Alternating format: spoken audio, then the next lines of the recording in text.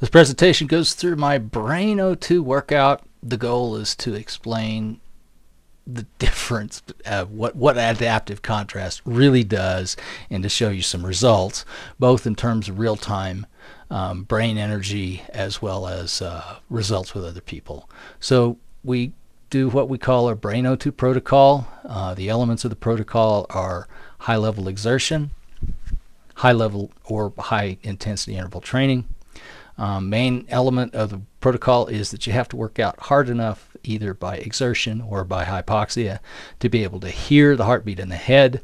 The purpose of this is by challenging the body. When you hear the heartbeat in the head, the body approximately quadruples. That's four times more blood squirting to and through the brain than normal. Okay, so that's why it's a high intensity workout.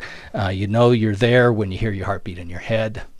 Um, we also do mostly hypoxic, meaning most time on minus O2 with very brief 10 second or so exposures to oxygen. Um, because once you get to the point where you've got that blood flow circuit active, you don't want to stop it because it's so much discomfort and work to reach the uh, blood flow concentration of the brain. Uh, normal duration of the workout was 15 to 30 minutes. I think this one was about 18 to 20 minutes. So in order to do the protocol, we used uh, LiveO2 with standard adaptive contrast. Uh, it has a high hypoxic max of about 14 to 16 uh, percent simulated altitude, about 11,000 feet, which uh, for the uninitiated is about the same as aircraft cabin pressure in a commercial airliner. Uh, when you switch to O2, it's a concentration of 85 percent, while normal air is 21 percent. So it's roughly four atmospheres worth of oxygen.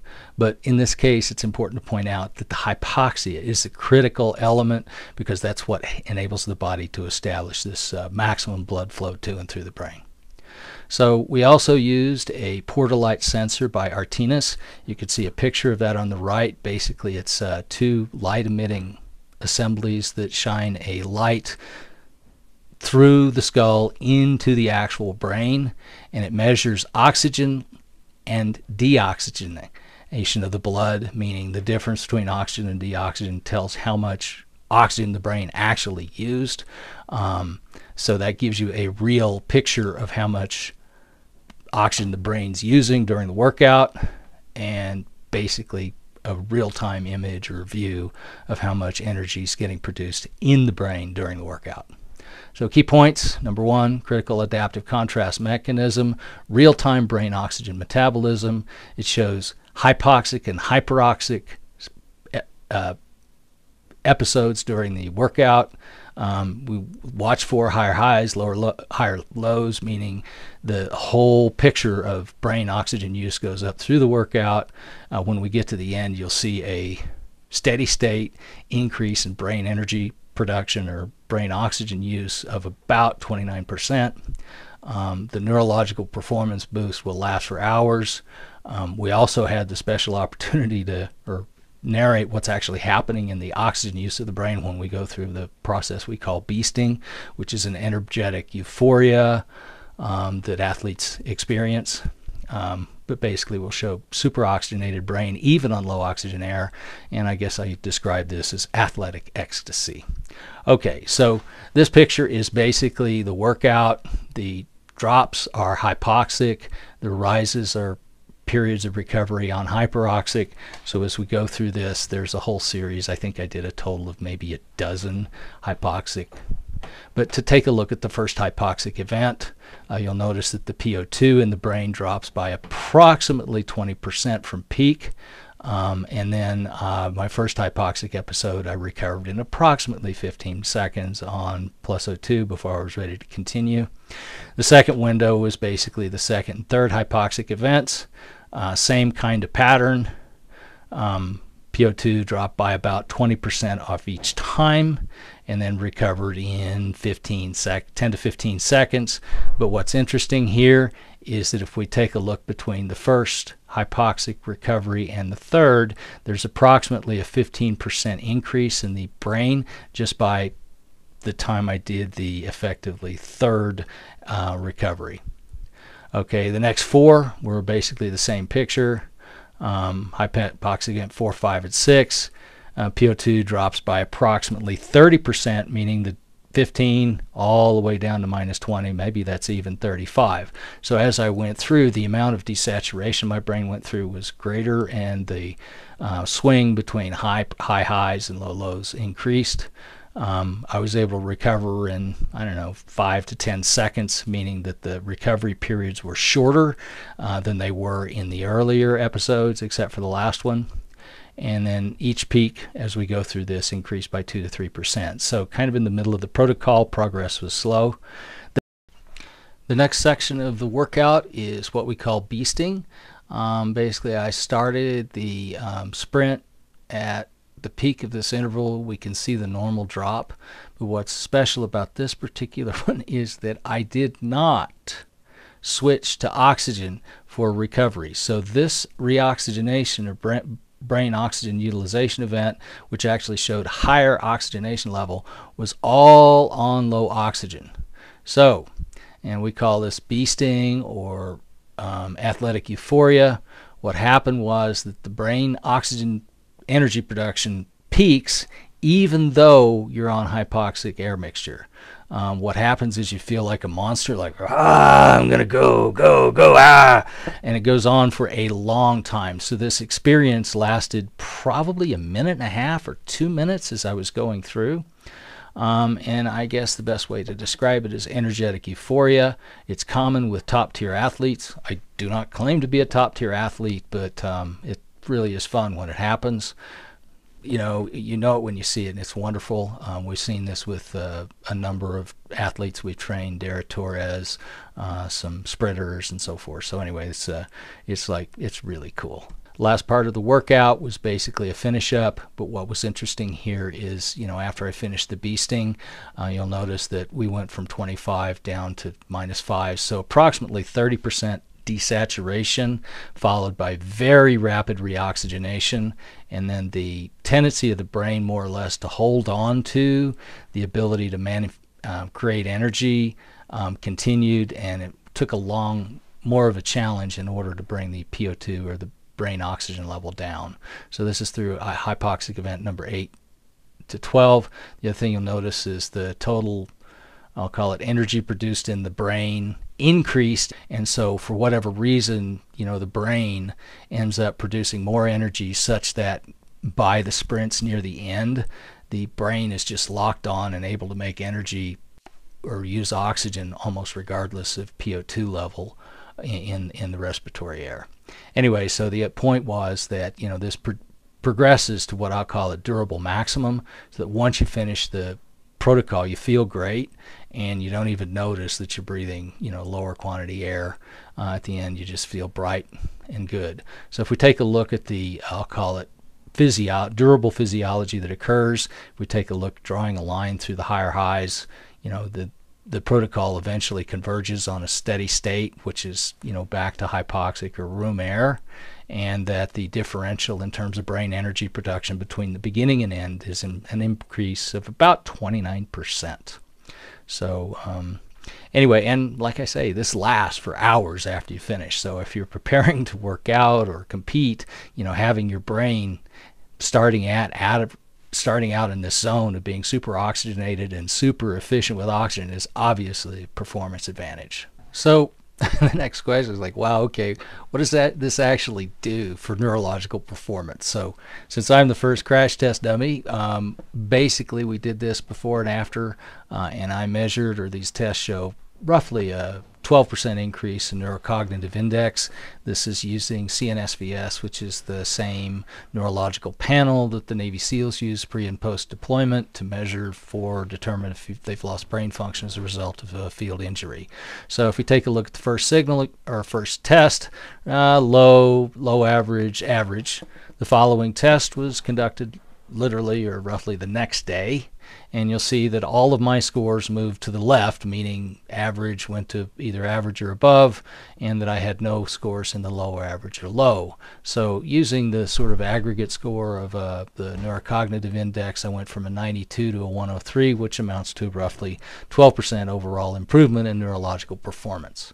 So given this was interesting, I thought it would be great to go ahead and start testing this protocol on other people. What we discovered is a lot of the athletes that had had uh, concussions, they automatically went into this aggressive training mode. So this is a first case, sort of a discovery case, 50 year old 58 year old female. And what's interesting was this is her first workout. She did her first workout at just after 11 o'clock in the morning. And she took, and each one of these red scores basically is a below average or low score, as in usually the first percentile. And um, so as you go across, these red scores say not so good. But what's interesting is we, she took the second test only two hours later after she took the protocol. And you'll notice the red to green transactions or transitions in there. And what I speculate is basically going through the protocol enabled her, created blood flow circumstances such that parts of her brain that weren't working in this in these tests actually flipped back on immediately and they started working. And anyway we tested this four years later and she was still green across the bottom meaning that the parts of the brain that switched back on during her workout literally stayed on. Anyway so that was uh, a real wake up call for us in terms of helping people or feeling like no we really need to get on and push forward with this adaptive contrast stuff Okay, here's another case. This uh, young man was 24 years old when they started. This is a three-month time span. Uh, we'll notice here basically he had a number of yellows and reds, um, but over a period of literally three to four workouts, he went from you know yellow, orange to quite frankly, or pretty much all green, um, and he still reports that he's in good shape. You know, I guess six, seven years later.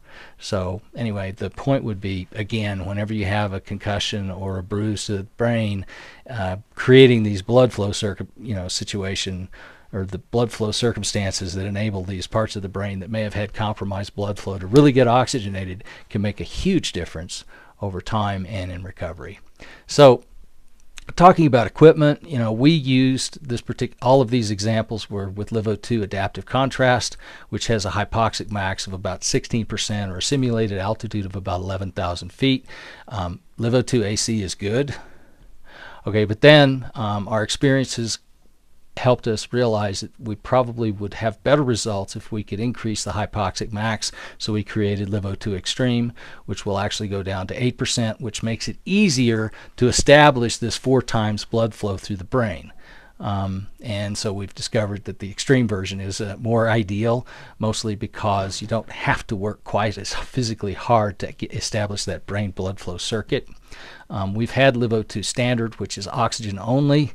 Uh, it has no hypoxic capability.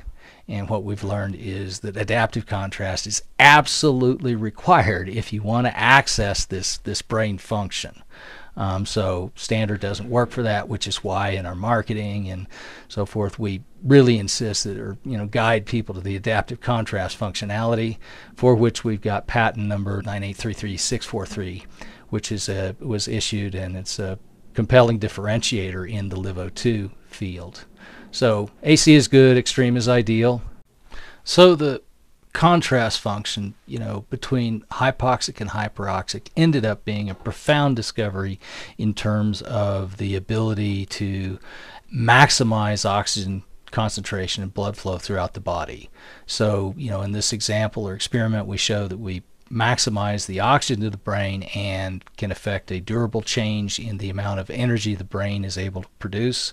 Uh, this is actually true throughout the body, uh, liver, kidneys, organs. So anybody that's got a healing requirement will obviously benefit by this. So principle, the hypoxia enables you to quadruple approximately the blood flow through the critical circuits, including the brain, and then the switch from hypoxic to hyperoxic uh, creates a increase in of about 600% as documented by Ardenne in the blood plasma. By the way, uh, if you're watching hemoglobin, you can't see this. So this is not hemoglobin. This is oxygen dissolved in the water or plasma, which in this case can reach uh, roughly at least six times normal.